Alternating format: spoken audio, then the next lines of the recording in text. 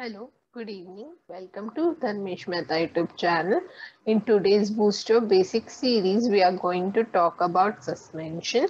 So this is part 2 of suspension. You can check the part 1 on our YouTube channel. So in this part 2 video, we are going to study the evaluation methods for suspension. What are the various parameter on which the suspension is evaluated. So let's get started. So the evaluation of suspension, there are four methods for evaluation. First is the sedimentation method. Second is the rheological method. Third is electrokinetic method. And the fourth is micromeritic method. So we are going to study each method individually. So starting with the sedimentation method. So in sedimentation, there are two parameters to determine the sedimentation. So what is sedimentation? So when a suspension is kept on a platform for a long period of time without any disturbance, the dispersed phase, that is the insoluble solid particles will settle down due to gravity and they will form a sediment or a cake. So that is sedimentation. So what are the two parameters for determining sedimentation? The first is sedimentation volume and the second is degree of flocculation. So now we are going to study each parameter individually. So starting with sedimentation volume. In this picture, you can see the timeline of a sedimentation and the sediment and the suspension. Okay. So now when there is a 30 second only after the suspension left, there is no separation of phases as you can see. But along with the time, there you can see a supernatant layer, that is the clear layer, and a sediment, that is cake form. Okay. So how we are going to determine sedimentation? Now it is determined using an equation which is F is equal to VU upon V0. Okay, so this is F is sedimentation volume over here VU is the ultimate height of the sedimentation, means the height of the cake. And lastly, V0 is the initial height of total suspension, means this. So usually sedimentation volume is measured using a graduated cylinder on which there are marking for ml. So that ml is used for the height determination. Now we have understood the practical explanation for sedimentation volume. So let's define sedimentation volume. So it is defined as the ratio of ultimate height of sediment means the height of the cake to the initial height of total suspension means this height. Okay. So it is determined by F is equal to VU upon V naught. So on conclusion to this experiment, the F values will be ranging from less than 1 to greater than 1. So what each f value signifies. So first when the f value is less than 1, which means the initial volume, that is initial height of suspension is more than the ultimate height of sediment. In the next scenario, when the value of f is 1, so in the ratio we have VU upon V naught, right? So when F is equal to 1, then ultimate height of sedimentation will be equal to initial items suspension, right? So this is happened in flocculated equilibrium of the suspension. So which will not show any clear supernatant layer on standing. The third scenario is when the F value is greater than 1, which will signify the ultimate height of sediment is more than the initial height of suspension. This happens in the flocculated suspension when the sediment volume is greater than the original volume and this is happening due to formation of network of flocs in the suspension due to which the ultimate height of the sediment is greater than the initial height of the suspension. Now the second parameter is degree of flocculation, which is denoted by beta. So it is ratio of sedimentation volume of flocculated suspension, which is denoted by F, to the sedimentation volume of deflocculated suspension, which is denoted by F infinity. So the formula will be beta is equal to F upon F infinity. So we can substitute the formula F, F here. So we will get beta is equal to Vu by V naught of flocculated system to Vu by V naught of deflocculated system. Here we have simply substituted the formula of F individually.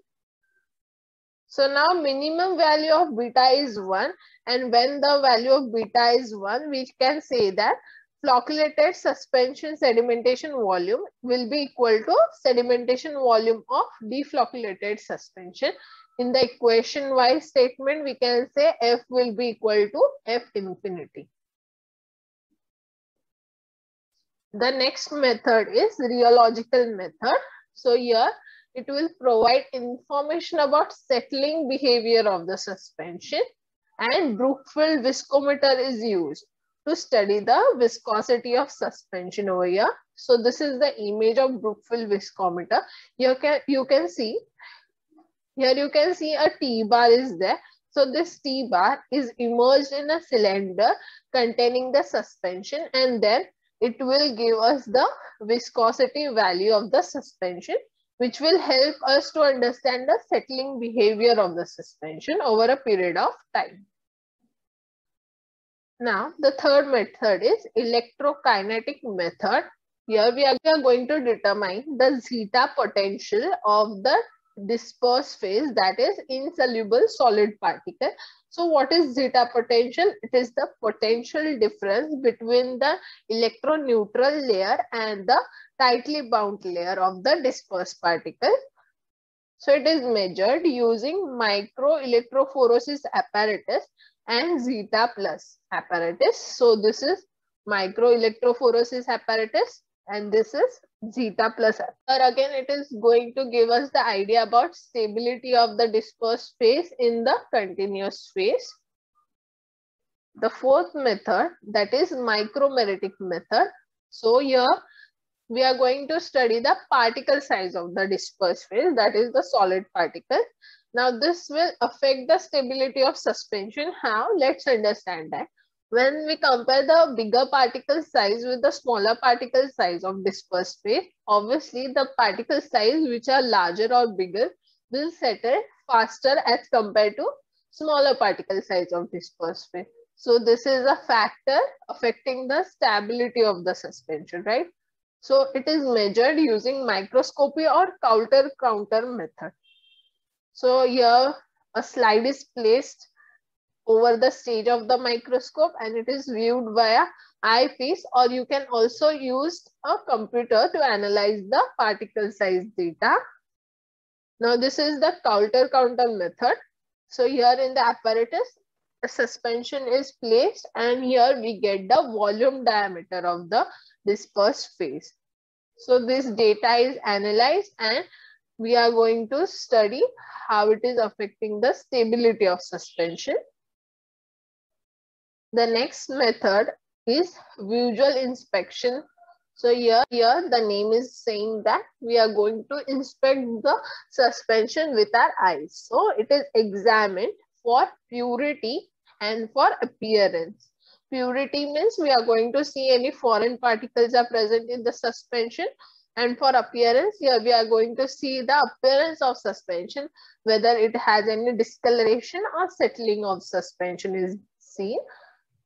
So physical appearance of product is very important when we are considering patient adherence and compliance because if a patient sees the suspension is discolored or a cake is far, then the patient might think the suspension is not good for consumption now and they will throw it away. So it is very important for so it is very important for patient adherence and compliance. So the suspension should be good looking and elegance in appearance, right? The next method we have is pH measurement. So measurement and maintenance of pH is also very important step in quality control testing, right? So now measurement of pH is done by two methods. First is pH paper and the second is pH meter. Okay, so pH paper here, the pH paper is simply dipped into the formulation of or the suspension, right? And the pH paper is matched with this strip and we get the pH. Now this is very simple method and very cost effective method, but it is not accurate method for pH measurement. On the other hand, the pH meter, we have a glass electrode which is submerged in the suspension and then we get the reading of pH on the machine. Now this is very accurate method, but it is costly as compared to the pH paper, right? So next we have freeze thaw test.